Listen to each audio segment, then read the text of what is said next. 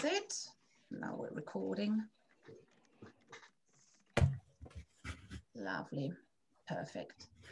Okie dokes. Um, the first thing um, we'd like to do is just to find out um, a little bit from you um, where you traveled from today, because obviously you're coming from very far away.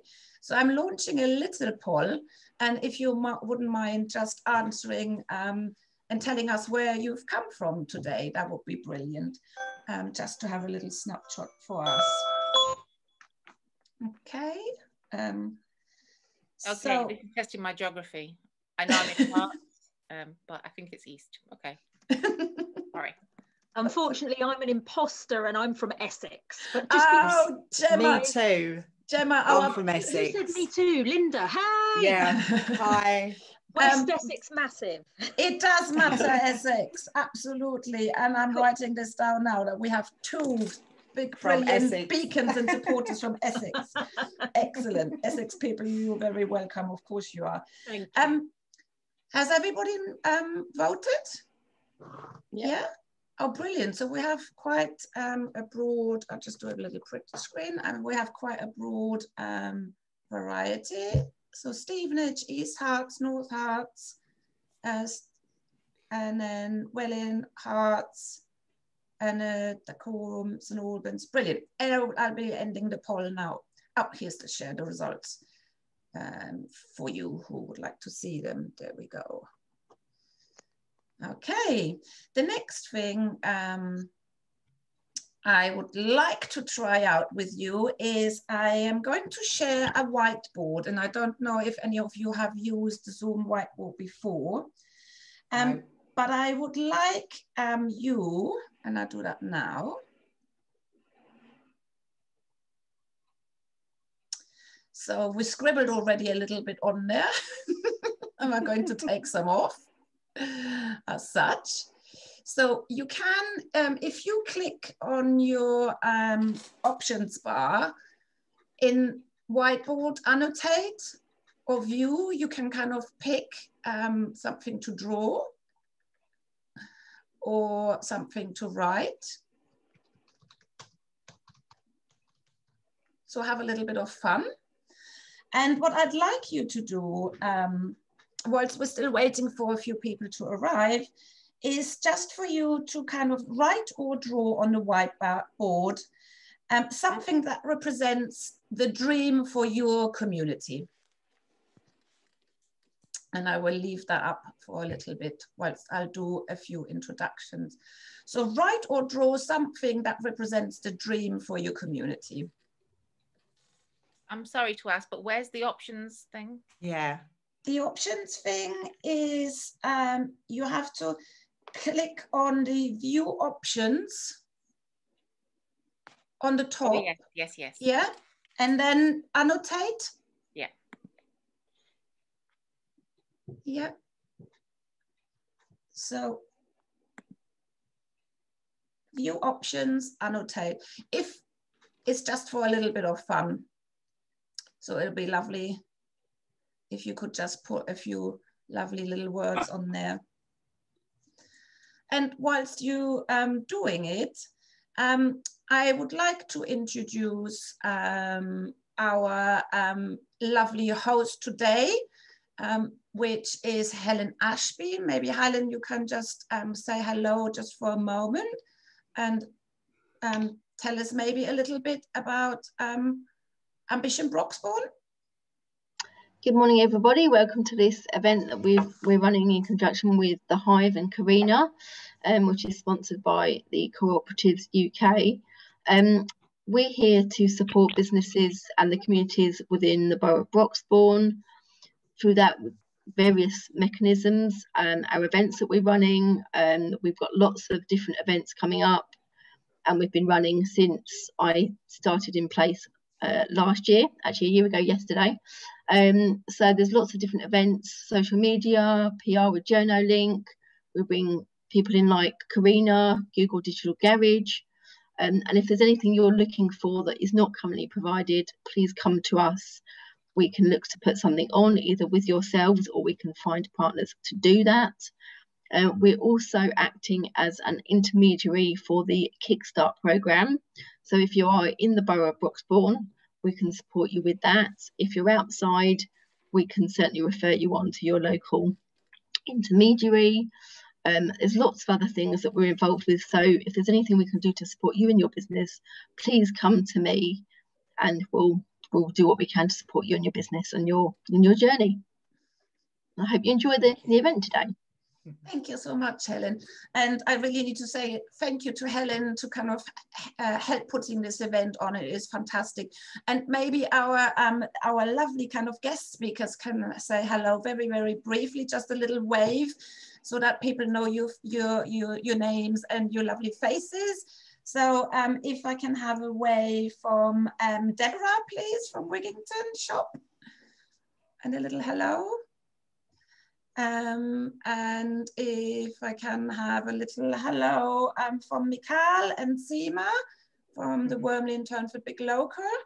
And a lovely wave from Victoria Hobson from Mudlarks and Hertford. Morning. That's brilliant. Thank you all. Okay, so today is really a lot about you lovely people all coming together and listening, especially to our guest speakers. So the first bit of um, today's event, I will just tell you a little bit about the Hive and what a co-op model is. It's really just an introduction, just a flavor, um, because um, it's really mainly about um, hearing from the people on the ground who are doing fantastic work, who have been doing fantastic work in the communities in Hertfordshire and of course in Essex for a long time. So um, that's really what today is about. I will talk, as I said, a little bit about um, the Hive and the co-op models. Then we will have um, 10 minutes for each, each, guest speaker, followed by a Q&A. Um, and you can use the chat function for that, or you can um, um, speak up as well. We, we are less than 20 people in the room, so that is, is, is perfect for a bit of interaction. Um, and then um, then there's the next, next guest speaker, then, um, then the third guest speaker.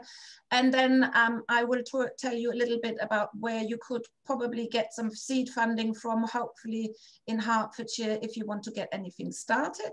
And then we have hopefully some time for a final um, Q&A. So I hope that's okay with everybody. I will stop sharing the whiteboard in a minute. And Helen, if you could um, share the screen um, for the presentation, that would be brilliant.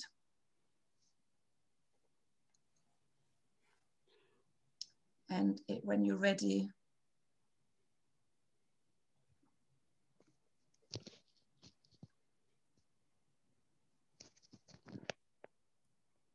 Brilliant. Corinna, will we get a copy of the presentation? Yes, you will. You will get um, a copy of the presentation. Absolutely. So it's great that so many of you are here today. And I need to say a massive thank you to Helen at Broxbourne Council, who has an, been an absolutely star in supporting me to organize this event and to all the three wonderful guest speakers that you will hear today. My name is Corinna Hartwig and I live in East Herts with my family and I have been involved in community projects and social enterprises for over 10 years. I'm pleased to be able to facilitate today's event. I'm all about better business and stronger communities and often work on contracts or in my roles as an associate advisor for the Plunkett Foundation, an approved um, provider for the Hive, which I represent today. I specialize in supporting startup businesses and grass, grassroots community organizations. I also had the privilege to work in grant making for the Big Lottery Fund and for a European funded program across East Herts, um, and Epping. And I'm also known as the funding doctor. And sometimes with my funding doctor coat on, I deliver um, funding workshops. And I have delivered some webinars recently for the wonderful organization called SEMBL. Next slide, please, Helen. So today's digital event is very kindly hosted by the Economic Development Team at Broxbourne Borough Council, and it's been made possible thanks to the Hive. I will skip that bit because I told you a little bit about the overview already. So if we could um, see the next one, that would be brilliant. let me tell you a little bit about the Hive. So the Hive is the business support program from the Cooperatives UK and the Cooperative Bank for people wanting to start and grow cooperative or community enterprises. As part of its commitment to supporting cooperatives, the Hive provides resources to help grow new co-ops and community businesses to start up, existing co-ops to grow, and non-co-ops to convert. It offers a mix of online resources, opportunities for advice and training to help build better cooperative businesses. The Hive offers up to 12 days bespoke support, training and mentoring for groups looking to set up a cooperative. Existing co-ops with ambitions to grow can also benefit from the support from the Hive. So if you're not uh, a corporate at the moment, but thinking about converting, um, the Hive is for you as well. Could we have the next slide, please, Helen?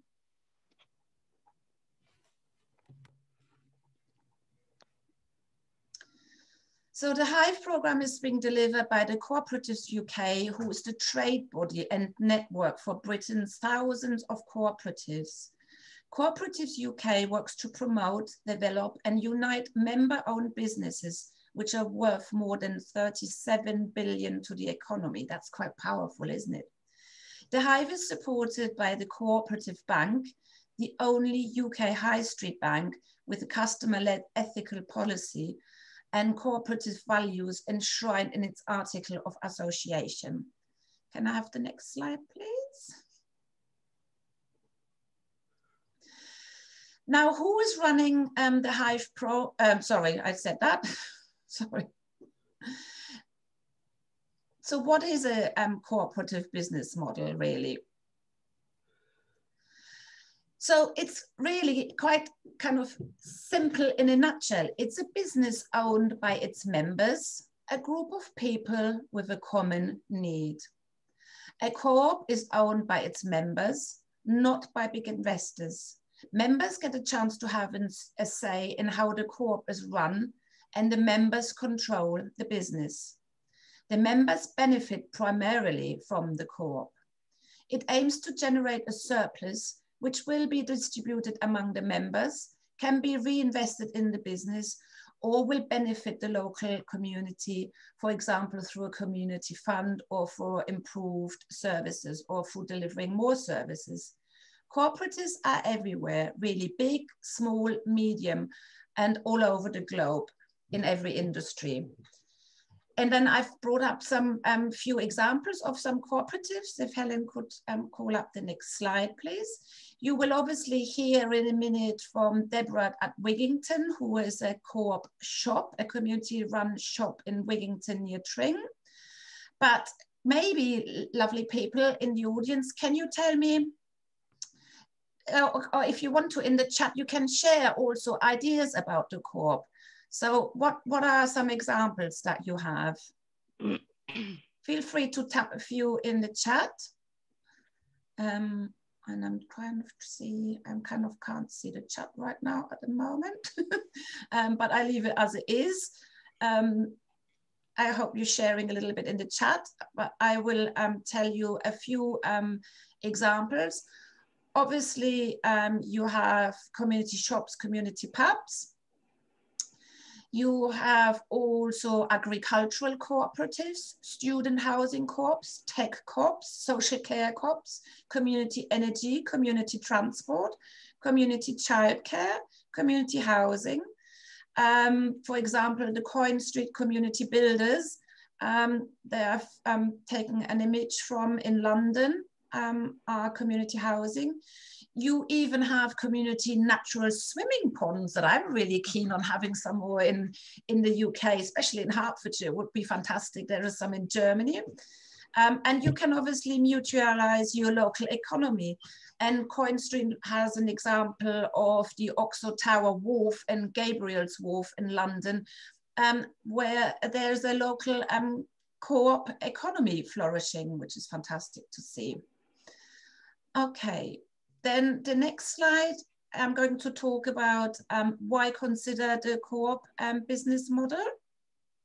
And again, if you want to, you could kind of share in the chat a little bit why you think we should um, consider a co-op business model. What are the um, motivations? Or maybe you can shout out so I can hear a little bit. Let's have a little bit of a shout out. Tell me, why do you think we should um, we should have cooperatives? Anyone want to speak? no. this is a totally new concept to me. I had no idea that it worked like this. so that's okay. that's fine. That's brilliant as well. That's why that's that's what it, why we put you on this event. Excellent. Uh, okay. I would say, uh, Corinna, one thing: empowerment, for example. Empowerment, absolutely. Inclusion. Inclusion, absolutely. Inclusion. Yeah. And it brings communities together when they feel included. Yes, absolutely. Common, Anybody? I would say, common purpose as well, for example. Yes. Yeah. And human interaction, human connection, which is important Mm. at the moment as well. But obviously, cooperatives build communities. Okay. Cooperatives create sustainable jobs. Cooperatives inspire participation. And they're a democratic and sustainable business model. And I'm just going to give you a kind of a few facts here, really, to underpin um, that. And I've taken the facts from the newest UK's co-op sector report from Cooperatives UK, which came out just very recently. And um, don't feel like you have to scribble all of that down. We will also share some resources with you afterwards with some links, especially to those reports as well. But let me just give you um, a few, uh, a little flavor. 70, 76% of co-op startups are still flourishing after the difficult five first years of a startup. And that's compared to non-cooperative, non-community businesses. Um, sorry, I just had to admit someone in the, uh, in the chat. Um, so um, only 42% of um, non-cooperative businesses um, flourish beyond the five years after startup. Then the annual turnover of the UCOPS um, sector uh, was up to 38.2 billion um, on the previous year with an increase of 340 million, which is fantastic. And the UK has now 7,063 independent co-ops employing 241, 714 people. And they have over 14 million members. Now there is empowerment, isn't there? Yeah. And who own and have a say in the, na in the, in the na nation's co-ops um, operating. And obviously, um, kind of adding to the build back better um, at the moment, there's obviously an urgent need for more democratic economy. And I hope these are kind of enough reasons for you to possibly consider setting up um, a cooperative. That brings me to the kind of next slide where I'm just going to tell you very, very briefly how you can go on to set one up. Um, and then I will very shortly after that um, hand over to Deborah from Wigginton, who is going to tell us um, all the story of, of Wigginton. But let me just very briefly tell you how you can go about setting one up. Um, so today is really just about insp inspiring um, in inspiration from the people in Hertfordshire who are running cooperatives, community businesses at the moment. Um, so that's why it's just a little overview, but that's why I don't have to have enough time to go into detail um, with regards to legal structures. And to be honest, if you're interested in legal structures, um, then um, there is a whole other world of webinars that you can attend. But you can start a co-op or community business from scratch.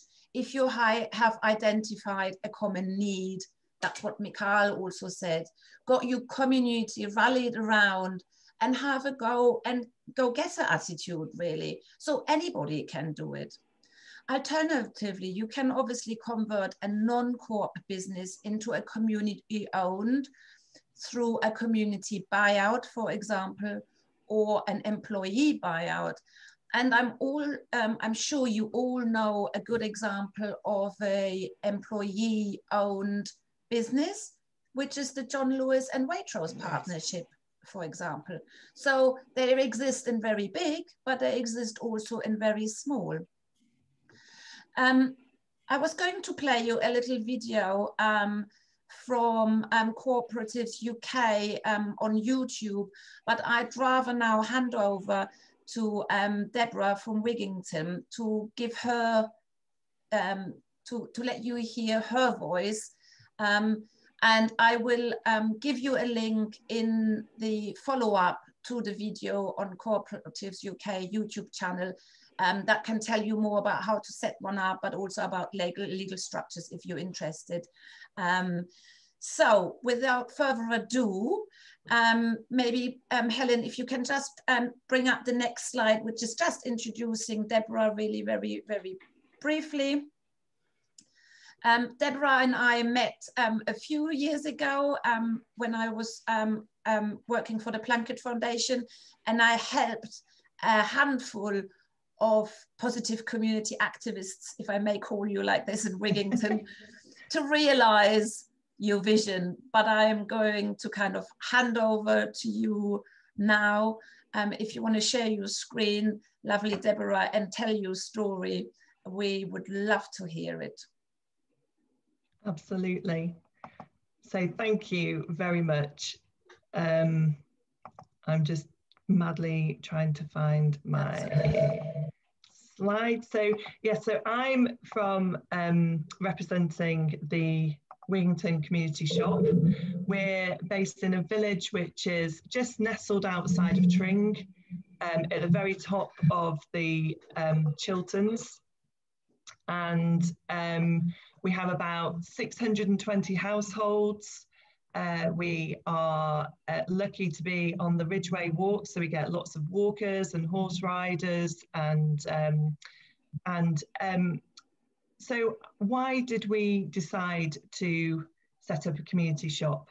Well, while Wigginton has an amazing, thriving social scene, um, a fantastic pub, a couple of churches, a school, primary school, and a preschool, and lots of interest groups um, a young family that moved to the village, a lady called Rebecca Fleckney, identified that there was a real lack of, of a community hub where you could just turn up whenever on your own terms and just meet up with people and um, have a natter and a cup of tea and you know perhaps be able to buy some lovely local produce and stuff that you might have run out of um, you know, in the cupboards while you're making a meal or, or whatever. And she mooted this idea to a few of us, and we just thought it was a fantastic idea.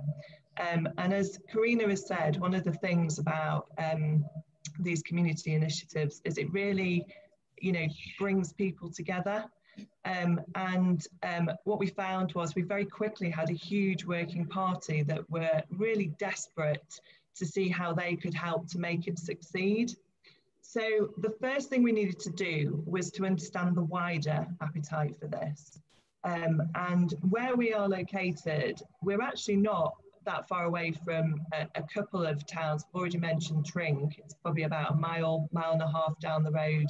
And we've also got um, Berkhamsted and Chesham, which aren't too far away. So we're not the typical MO for a community shop in the, in the fact that um, you know, we do have amenities quite near to us on our doorstep. But so this consultation was really important to understand, you know, how would people use it um, and what would they need? Um, and the results that came back were really positive and people said that they really loved the idea of a community hub you know, and being able to get stuff easily, you know, walk out their door and be able to trot down the road instead of having to get in the car. And um, the next challenge for us after that was there wasn't a natural place to locate this, um, only because there wasn't um, any of the premises in the village that we could take on and move into. So we looked at um, a variety of options. Um, and many years ago, there had been a scout hut located on our sports field, which had long been demolished. And um, the more we looked into this, the more it felt like a natural location. There's a car park, there's a sports field, a children's playground. It sits in the heart of the village near to the pub um, and the school. Um, this land is owned by our parish council. So we um, needed to put together a proposal for them that um, that um, would allow them to understand exactly what um, the, you know what we were looking to locate there. Given the fact that also we live in an area of outstanding natural beauty, so we can't just go checking up buildings where where we want to. Um, and they were incredibly supportive because they could understand the benefits of creating this community hub that um, would bring people together. And so what we had to do then was really look at how to put together all the aspects of building uh, the premises, putting together the business, you know, what type of business we would be, how that would be run. You know, there's a million different aspects. And this is where the support from Corinna was incredibly important for us. Um, we spoke to her at great length. plunkett were amazing in terms of, of signposting us to different resources, um, and advice, um, other shops, uh, community shops, and the learning we could get from them. So to really cut to the chase, we um, we found that in our village we had um, uh, so many people that were highly skilled that were willing to offer their services to help us to get the project off the ground. We had lawyers, we had architects, interior designers, retail experts, enviro environmental um, experts, which allowed us to put together a really professional proposition um, that uh, could allow people to invest in this project. You know, bearing in mind that we were starting from a green field, which you will see on the on the screen at the moment, there was literally a table tennis table, and a couple of uh, picnic tables. So it was very hard for people to understand what they were buying into. Um, the cooperative model absolutely made sense for us because what we wanted was to bring our community together and for them to feel that they were playing a part in it and driving it forward. So we established ourselves as a community benefit society um, and um, put together a business plan accordingly.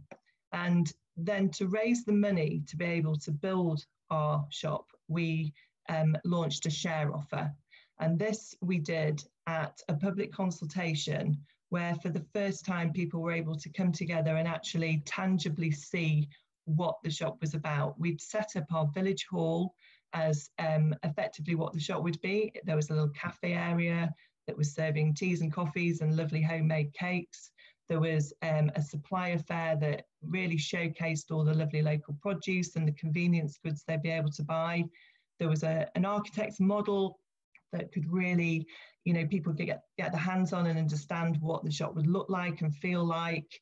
Um, and, you know, it was a bit of a pivotal moment for all of us that were involved in actually getting this off the ground to establish it because it was the first time where people were really having to invest their cold, hard-earned cash in this project, which um, which thankfully they did. Um, and the share offer we administered through um, an online platform called Crowdfunder, um, which was a, a, really effective way to be able to take people's money uh, um, uh, in a safe a safe way. And it also allowed us to match the funds we raised through our community through the big society capital. And I now I'm using so many acronym, acronyms and I'll put links in the chat so that you can sort of look at what all of these things mean, um, which meant effectively we could double what we'd raised um, to uh, be able to fund the shop. We also had a fantastic lady on our management committee who was uh, had expertise in applying for grants which topped up our funds. So following that share offer, we were in the most exciting position, having acquired all the necessary planning permissions to actually start the build of our shop. And this was in the summer of 2018. Um, we had um, a, a, gorgeous builder in the village that, that built that and did bent over backwards to make sure that our budget fitted our, um, you know, we could get this beautiful shop come out of the other end of it. And on the 1st of December 2018, we opened our doors for the first time and we absolutely haven't looked back. The, the membership are incredibly active. Many of them support it beyond the, the, the financial input they've given. They will volunteer. We, we have people working behind the scenes. We have an AGM um, once a year, obviously, that is incredibly well attended. And um, you know the the the shop is thriving despite this background of um, of COVID. Uh, we, you know, we've had some tricky months where we've not been able to do some of the things that we would normally do um, that have affected our takings. But there is incredible support, and um, you know, long may that continue. Um, so that's that's our story. Um, if you have any questions, um, please don't hesitate to ask, put them in the chat or, or just shout them out to me.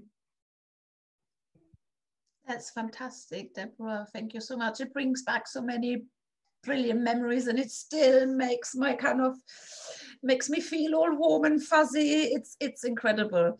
You you all did a fantastic, fantastic job. Yes, show those beautiful photos as well, please. Um, I have uh, the important bit, the cake. Yeah, cake. Oh no, what time is it? 11, 10 past 11 and we want cake. Sorry guys, we can't serve you um, virtual cakes. I'm can we, sorry. Can we, Corinna, can we organize a delivery of cakes, please? Yes, we'll do you, that Deborah. next time. Um, whilst we're organising that behind the scenes, would you lovely people um, ask Deborah any questions you may have? I have a question. Um, you say that people invest um, like with I don't know if John Lewis and Waitrose in their partnership they uh, the shares give a dividend or anything. Is that how it works? I mean, that's what I understand from many moons ago, but is that? That's a really good right? question, actually. Um, the way that we're set up as a community benefit society, um, we've been very careful to um, for our investors to understand that this isn't you know something they can invest in to retire on um, you know invest their pension funds in and whatever um, our, our our real kind of um, true north is about delivering to our community so the plan is um, that we will really once we get to the point where we're, we're sustainable we we we have this big society capital loan that we are paying off um, and once we pay that off, we will be completely com community owned, which will be amazing. And then the profits will um, be ploughed back into community projects. So whether that be, you know, um, uh, uh, you know, upgrades to the playground or you know people will have the opportunity to put forward community idea project ideas which these funds will go into rather than it being about people getting return on investment for their for their share. But that is um, as part of our rules that is part of what could be done. So if people move out of the village or want to pass shares on um, you know um, one one aspect actually Seema that um, was a part of our share offer is we were able to get tax relief on share offers depending on obviously your own tax situation. So that was one um, you know kind of incentive uh, if you like from a financial point of view. But it's it's more about being part of a community enterprise and driving that and influencing it rather than a financial investment. So people are investing to get that facility for themselves as well which yes. is you know as long as people have got the okay i also want to know what the average donation was not donation whatever investment yeah so we this was a really tricky um you know debate um in terms of because the whole point of the shop is to be accessible to everybody and um you know, there's um, a huge range of um, share offers when you start to dig into this community shop world. Um, and we decided because we were starting from scratch, we had, you know, significant build, uh, um, you know, costs to take into consideration. So we set our shares at £250 each. Um, so that we stood a good chance of getting the funds we needed. Um, and you know the way the way we we saw it was obviously there is this financial goal that we need to reach, which is why we set it at that. But if not everybody could, you know, um, could contribute depending on where they were in their life, they have, might have other priorities, or you know. Um, so we looked at it. There is people that were so willing to give their time and then there was those that were able to help um, finance it as well. So that was the balance we had which you know i mean i always say because i do the pr for the shop as well and the marketing this shop is the success of literally hundreds of people making it happen. So that's gone off a bit piece from your question but i hope that answers it. Right. Is there any more questions for Deborah for now, or would you be, um, would you really like to hear from Mikael and the lovely Seema at um, Wormley and Turnford Big Local, what their project is all about? If there is no more questions for Deborah for now, then Deborah, thank you so much. Um, but I'm sure it was it's, it's just brilliant to kind of really hear hear this kind of really heartwarming and it's a success story. You you you you won awards as well. You've done so brilliantly to kind of pull it all off. So um, yeah, over really big applause. Um, but obviously, um, Deborah will be um, there before um, we, we finish the, the, event this morning. So if you have any more questions for Deborah, she'll be in the Q&A a little bit later. Um, thank you. Thank you. Thank you so much.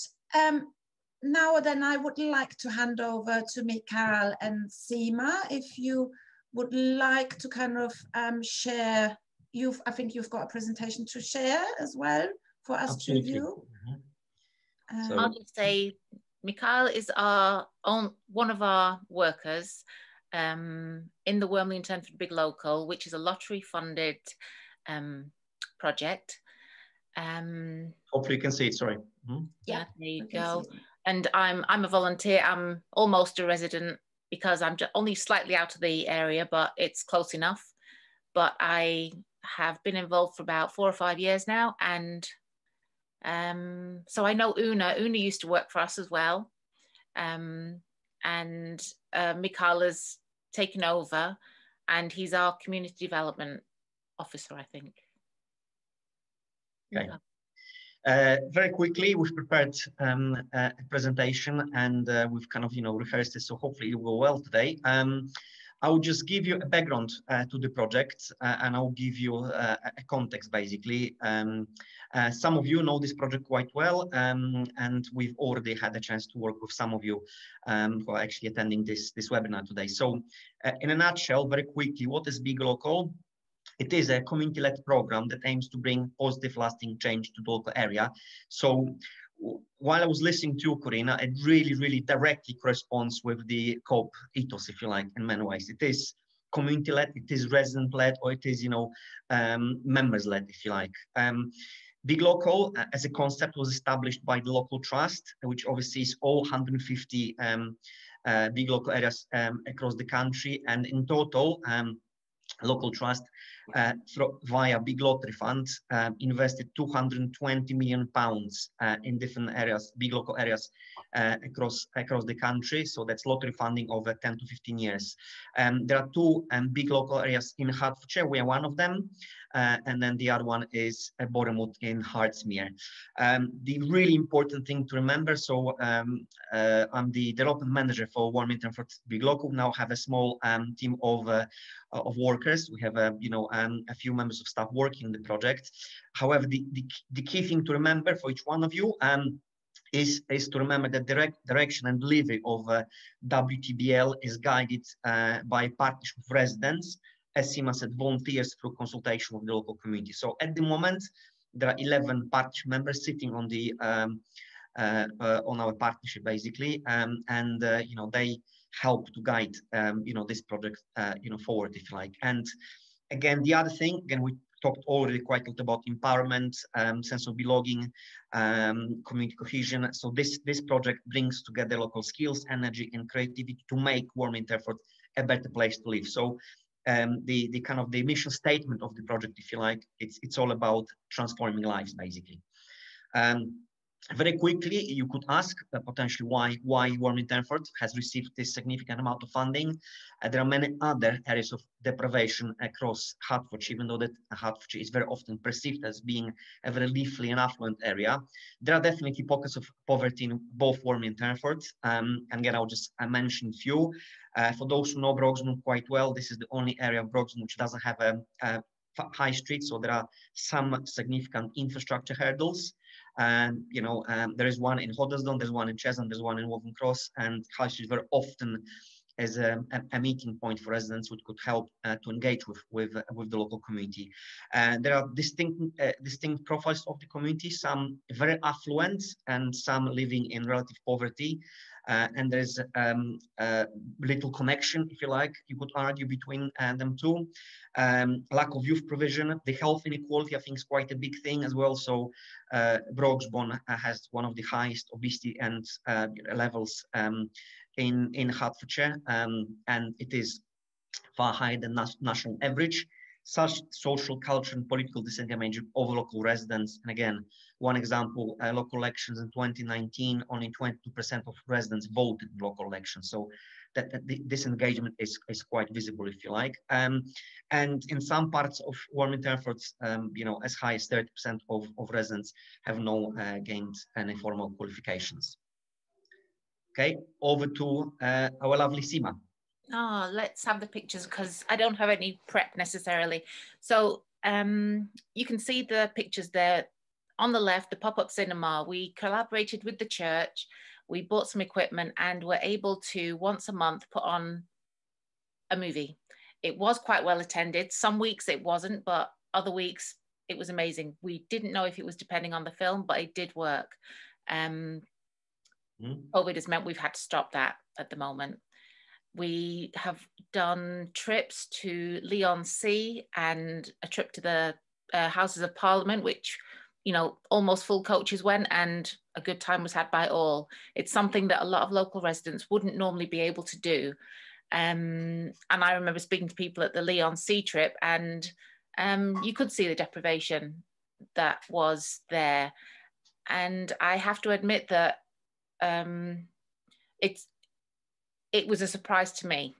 It's a surprise to me to see that in the area because there are so many affluent areas, affluent um, sections in the area that it, yeah, it's a bit of a shock.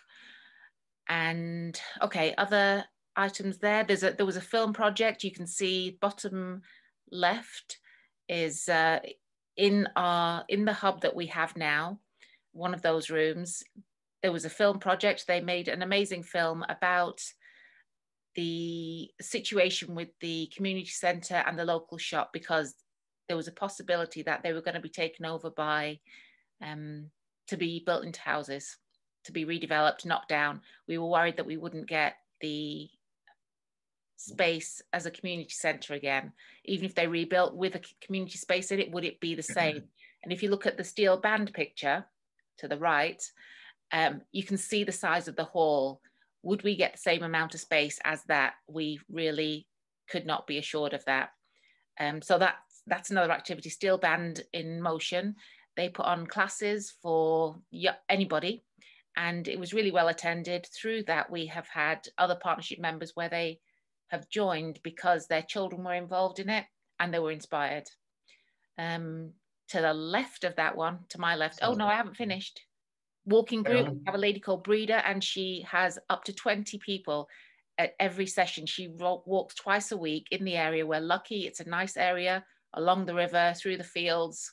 Um, it's a beautiful walk, and these are health walks that she's been doing for quite some time, and she's a volunteer as well. Uh, the top picture is just in our old hub, which was which Una will recognise. Um, uh, but it was quite a small space. It, it we couldn't engage a lot of people in there. I think. Okay, now I'm ready.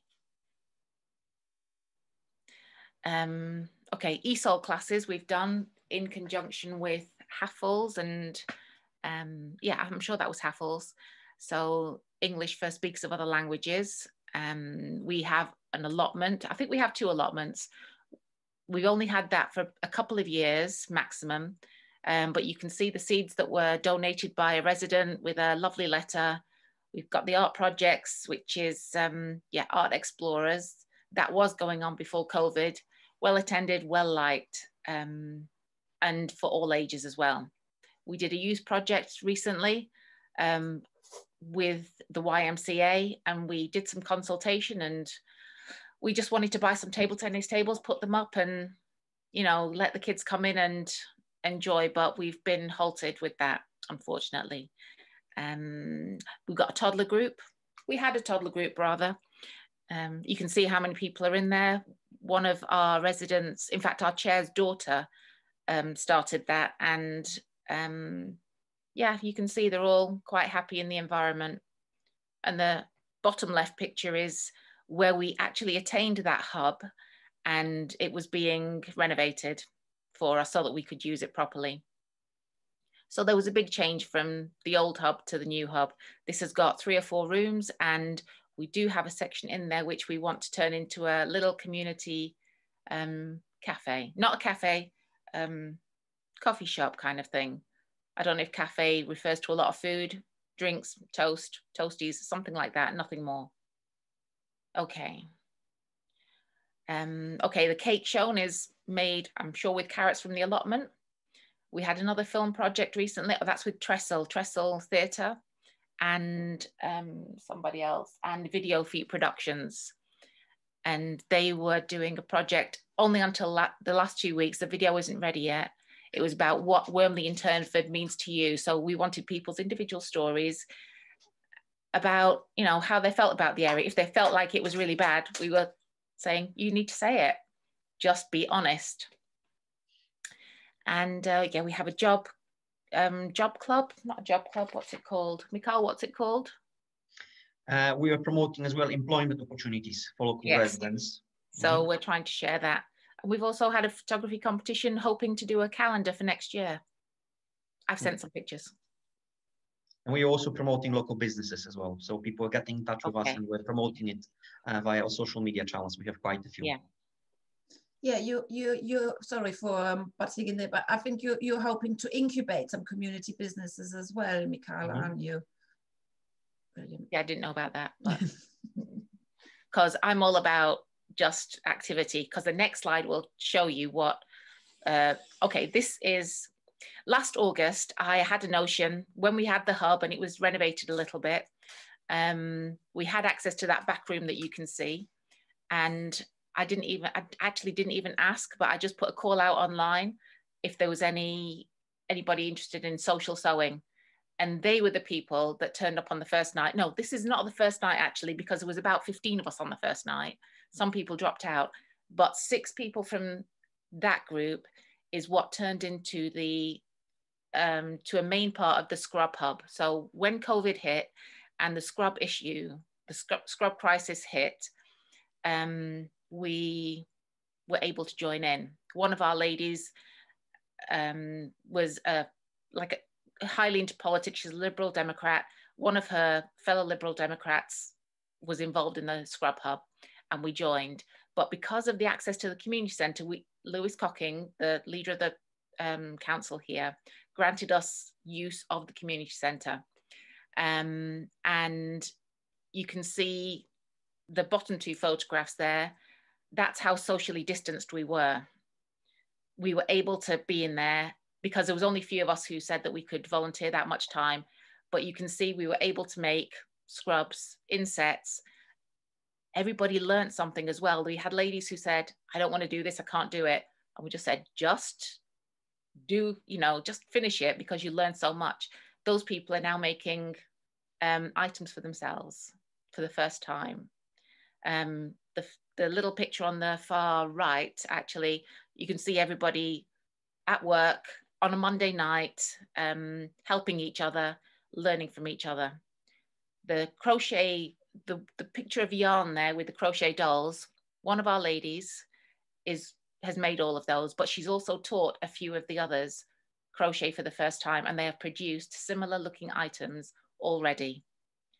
And it's been such a learning curve. And okay, there's a new cushion for the, uh, out of some donated fabric. It was the right colors, as you can see from the slide, the green and blue. Mm. So, you know, it's about being resourceful and and just letting people do something. The cushion cover isn't quite the right shape, but you know what? It's a fresh cushion cover. It's okay. I'm not going to complain. And that's it, really. I don't know if that was what. Oh, no, it's not it. Uh, so, now, Mikhail, I'll let you do this. Very, very quickly as well. So, I mean, it's uh, the, the success of the uh, sewing uh, sewing project, sewing bees project, is, is all down down to Seema, and this project has continued, as Seema said, throughout the lockdown. Absolutely incredible um, to see how successful it was and how uh, vibrant, you know, uh, it is. Um, very quickly, literally last slide to say that our next few months and, and a year possibly are really um, extremely important for the project. We are um, in the middle of writing our next community plan. So um, uh, we need to spend all our funding by 2026. The current plan uh, ends at the end of December. Really, really interesting exercise, um, which will involve as well community consultation, many other things.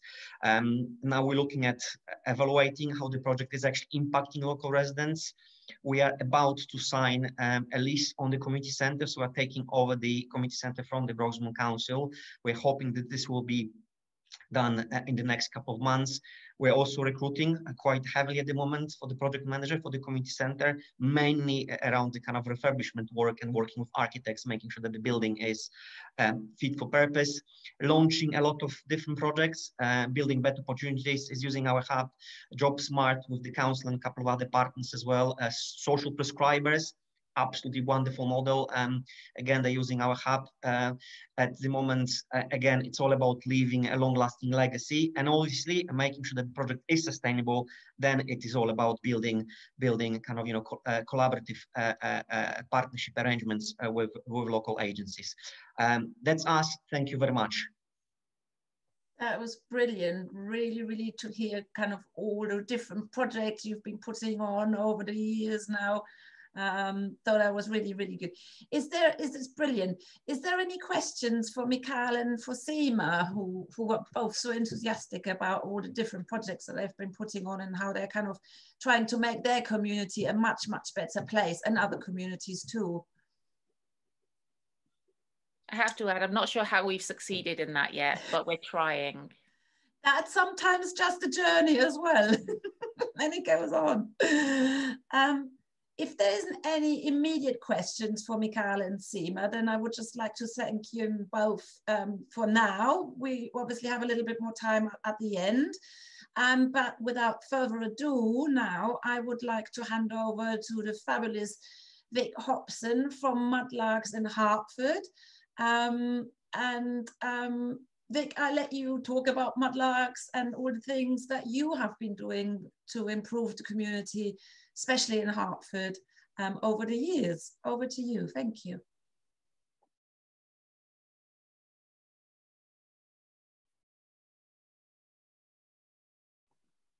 There we go. Unmute myself first is a good idea. Hi, thanks, Corinna.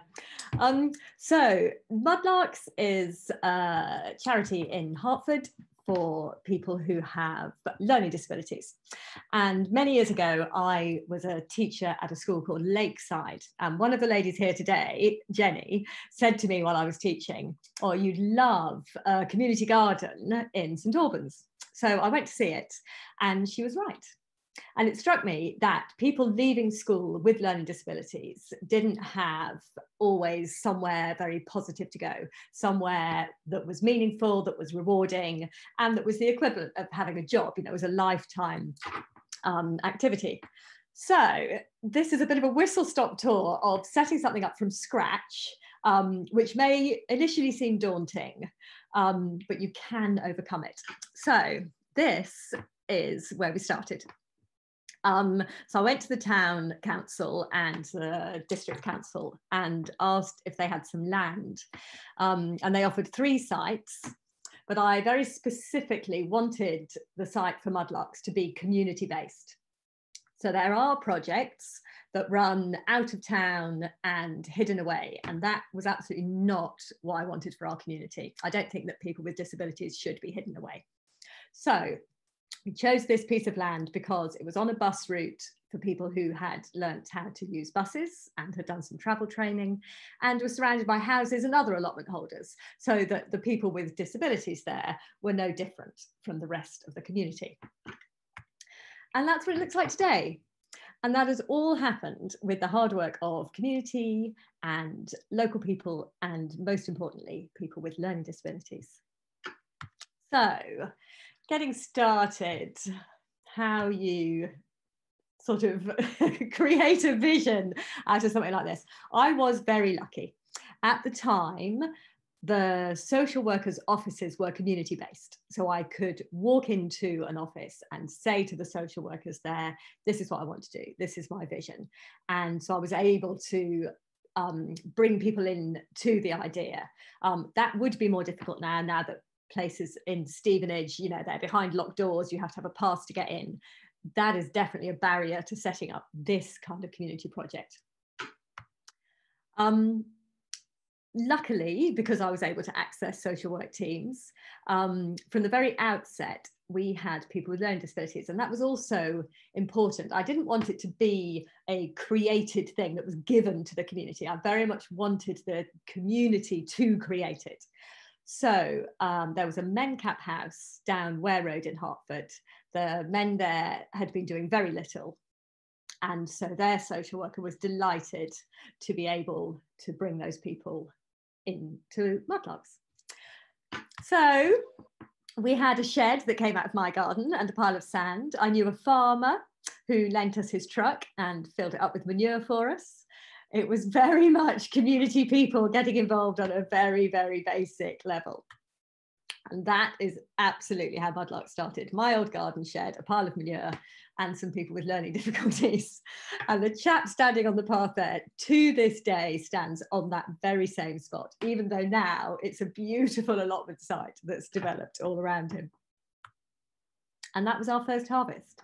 So it's quick. The good thing about these sort of projects is you have a very quick result. You know, you can take a small bit of that land plant vegetables in it and for everybody that's involved you've got a very quick reward and i think that's quite important for all of these projects is that there's a sort of a, a quick result even if it's a very small one and then of course we needed more help so um, i went out to local companies and said we've got this lovely bit of land but four people with disabilities and two volunteers um, are not going to get very far very quickly so we had Glaxo involved, we had O2 involved, any company that was prepared to send out people for a day of volunteering, we got them in and created this.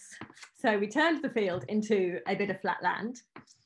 Um, every half term, every holiday, my children were there all the time. Everybody else's friends' children were there all the time. Um, flattened off our piece of land. We still, as you can see, only had two very small sheds, but we did at least have a flat piece of land. We needed a better shed. So um, keeping aware of what's going on in your community is really important when you're starting one of these sort of projects. And the Van Hages at Bragbury End on the way to Stevenage was closing. And you have to be quite ballsy as well when you're setting something up with no money. Um, so I knocked on the door and said, I need a shed and persuaded them to give us their old swimming pool shed.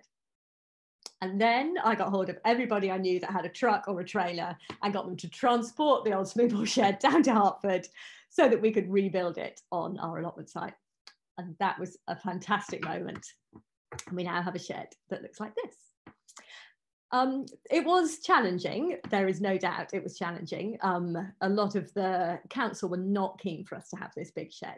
Um, but actually, that ended up being a good thing because by the time we got it, we'd got this vast community of people who had been outraged that the council wouldn't let us have a shed and had come to all the council meetings. So actually, the battle ended up being a positive and it really helped to build up community support. We'd written articles in the local paper, which meant that more people knew what we were doing, and it really did have a very positive longer term effect. Um, the shed is completely um, green, it's got no foundations, it's got recycled insulation, it's got a green roof, um, so it's properly apt for an allotment site.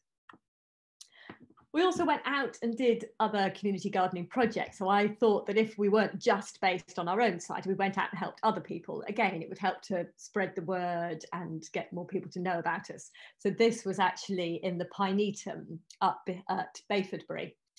Um, so we went and did some community work up there.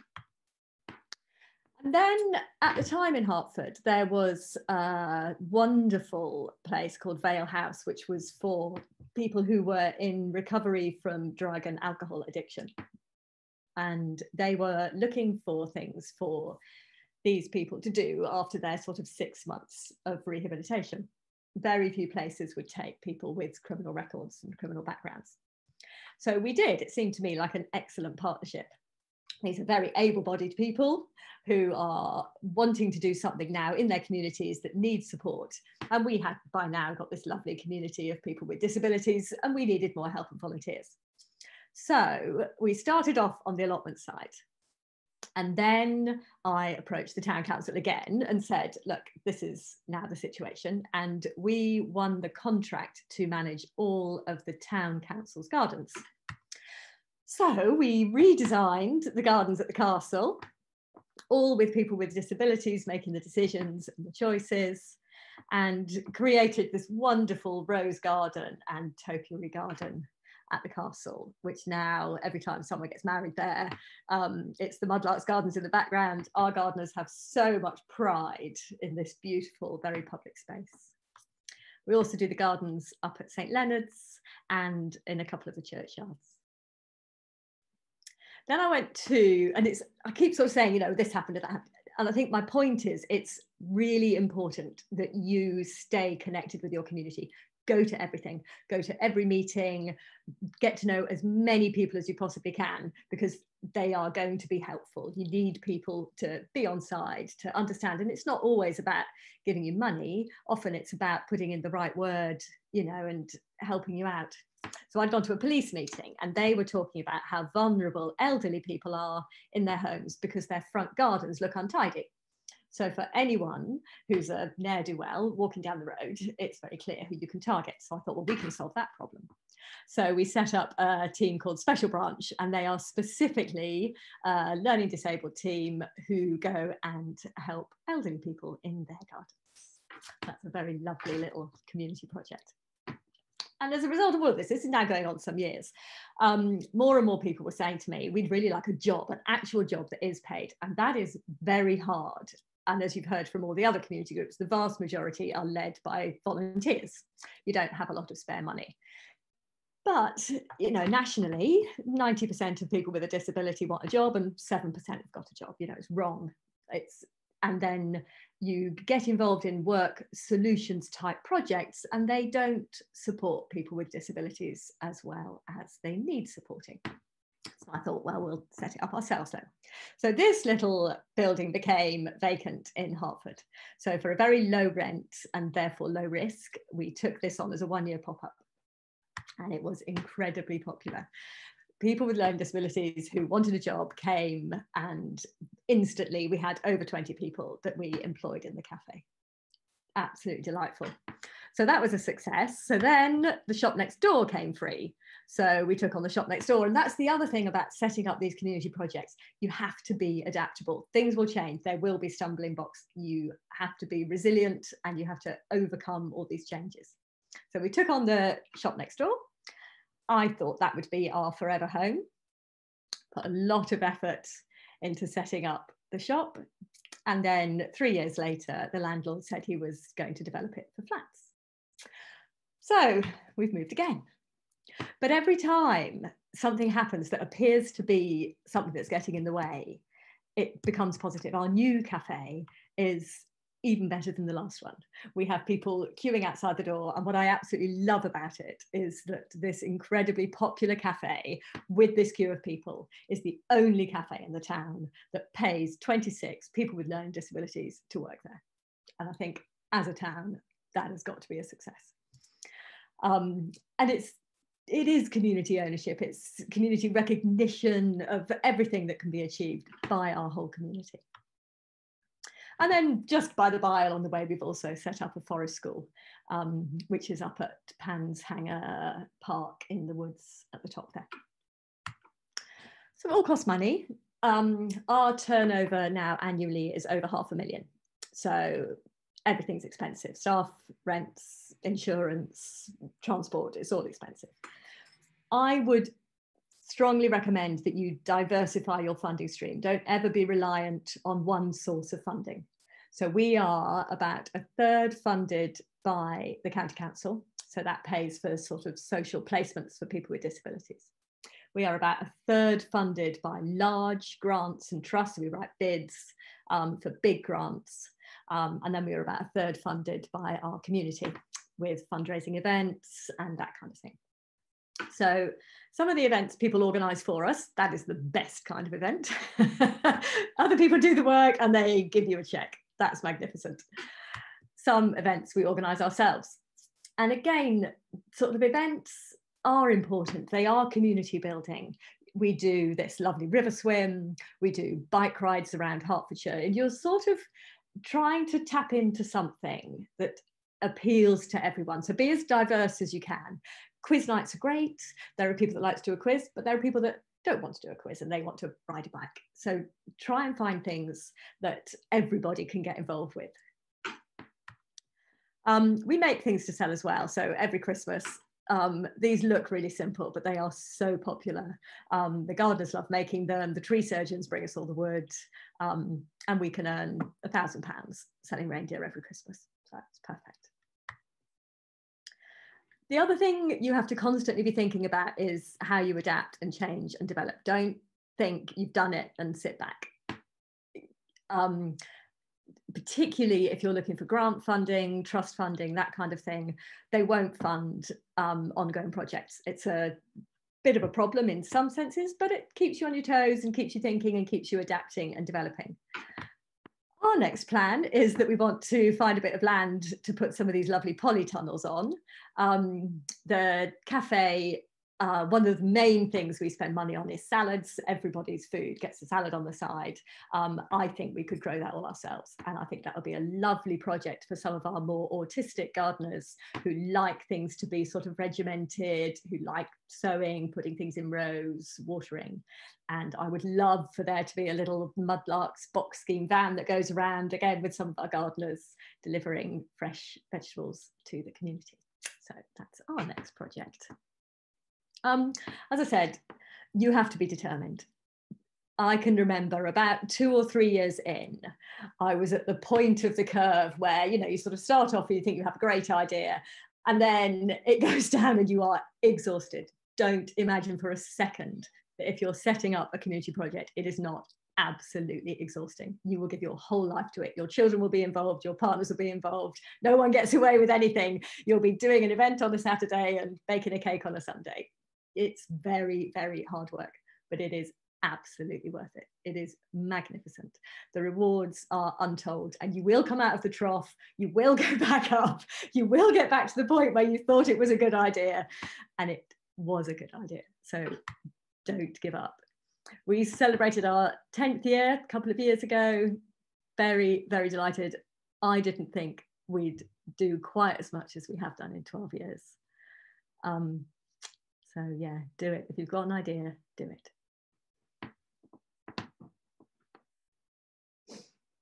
Oh, thank you so much, Victoria. It's fantastic. It's so heartwarming to hear. Um, um, I, I am kind of lost for words really because I hope that you all kind of feel how kind of how much energy, how much positivity is coming across, how resilient we can be as human beings, as communities, if we come together.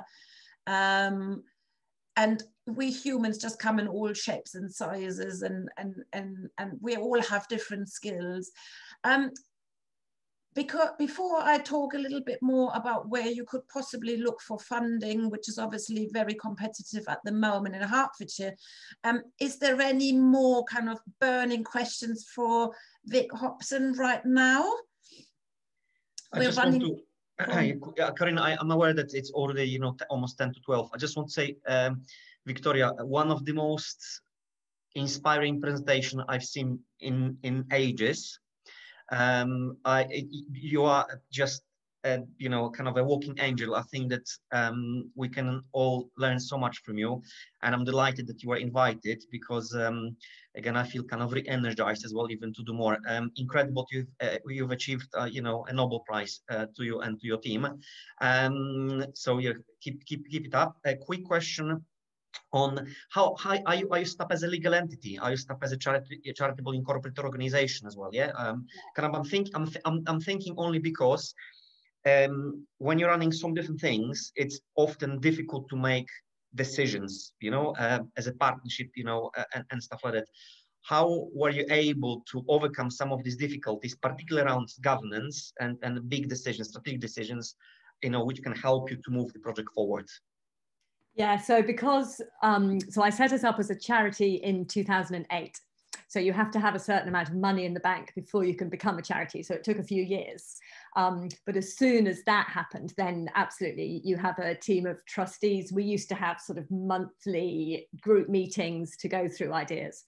And the other thing that I did very early on, as soon as I could, was that I employed someone to be an administrator.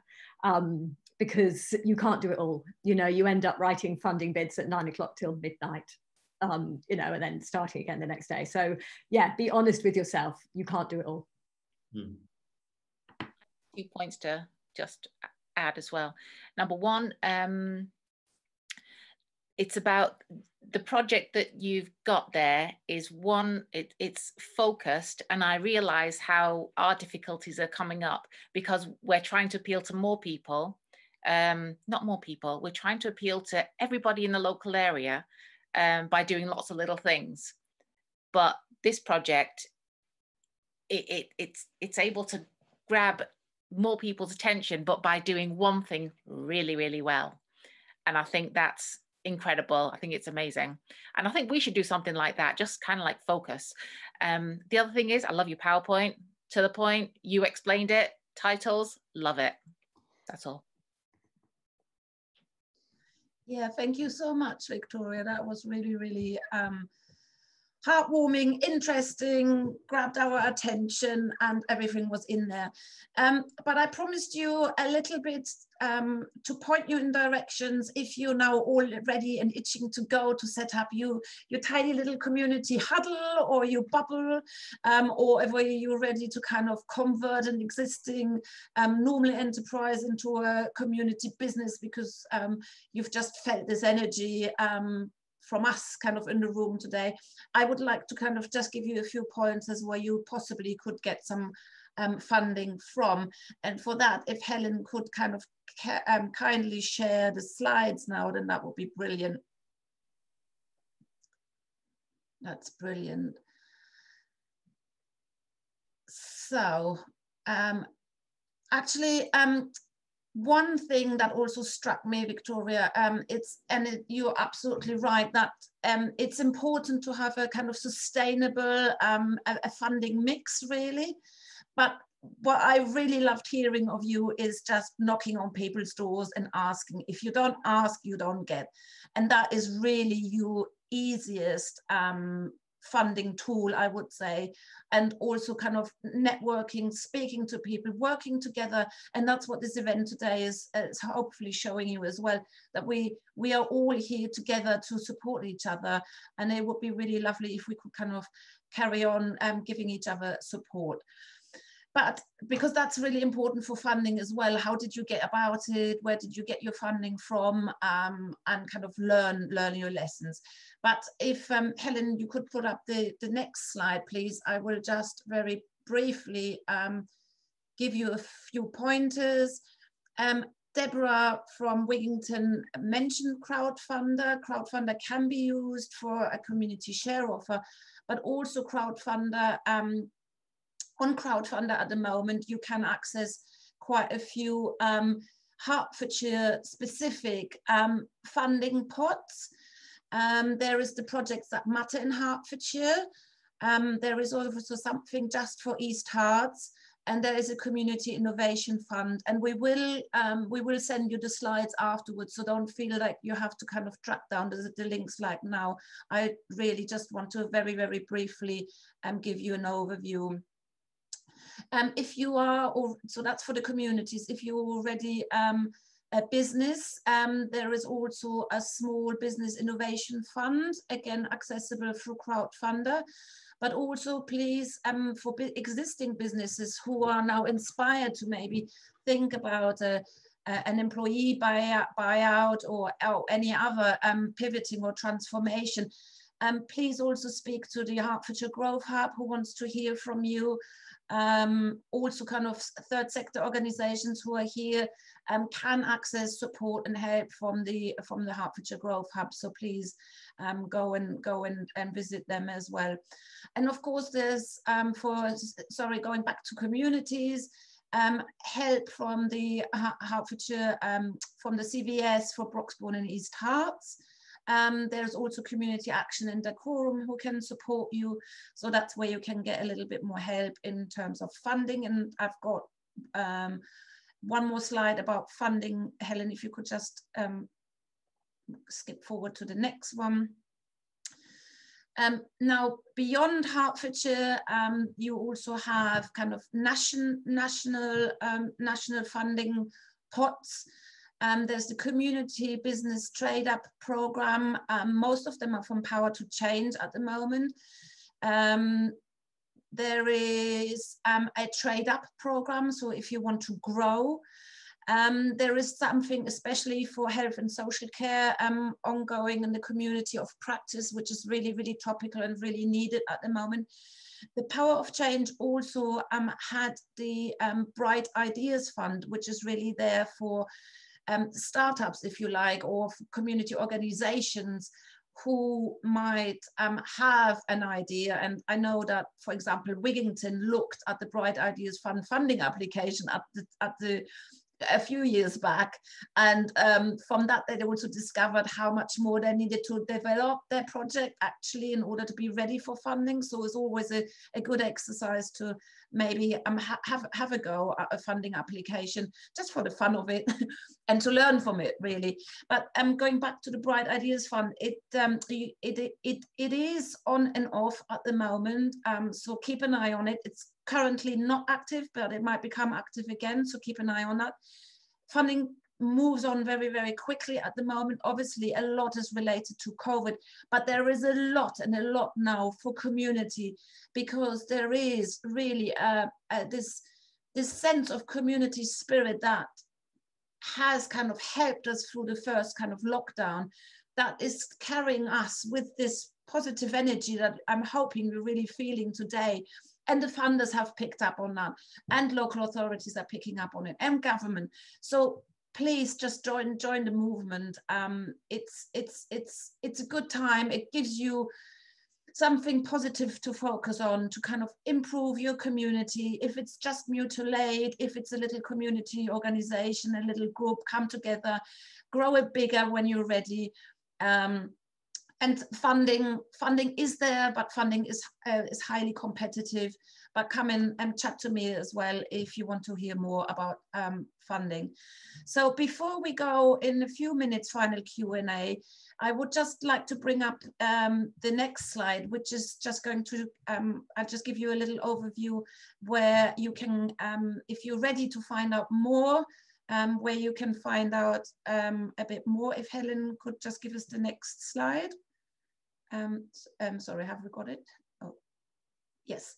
So obviously, please, please, please um, contact the Hive um, and it's www.thehive.coop.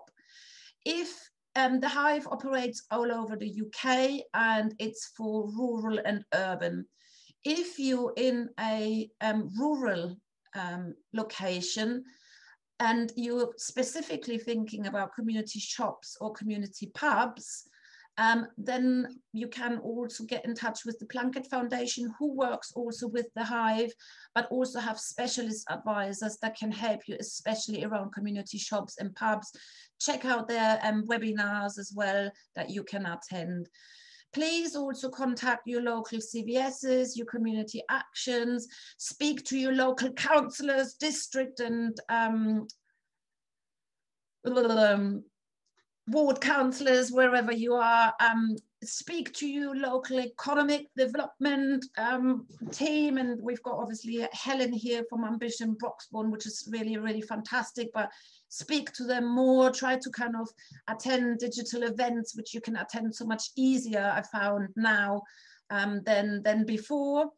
Um, also for social enterprises in, in Hertfordshire um, and obviously in the east of England, there is Social Enterprise East of England. Um, they are also putting on webinars. They also have a little kind of coffee morning every last Friday of the month around about 11 o'clock. Um, very friendly, that's a virtual one, come along, still virtual cake. um, inspired to enterprise.org can help you with starting up as well. And don't forget that there's um, Wenta, who is the Hertfordshire um, Business Support Agency, and also Stunter, who is over in St Albans, who can help you with all of that. So there is a lot and a lot of help um, out there. So I would like, Helen, if you can just bring up the, the last little slide um, for me to just to hand over now um, to our final little Q&A and we've only got two minutes left. Um, if there's any questions, please just unmute yourself and just fire away to um, to our our lovely lovely guest speakers are so inspiring um, or um, or um, type something in in the chat.